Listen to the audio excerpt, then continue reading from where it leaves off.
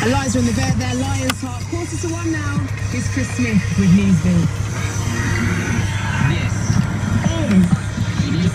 Radio 1. Well, there's one story that lots of you are getting in touch about, so that's where we're starting Newsbeat this lunchtime. I did smoke when I was pregnant. I smoked about 10 a day. It was pretty shameful of me, and it's not something I'm proud of. Smoking when you're pregnant, and the worries about why so many teenagers and women from poorer areas are still.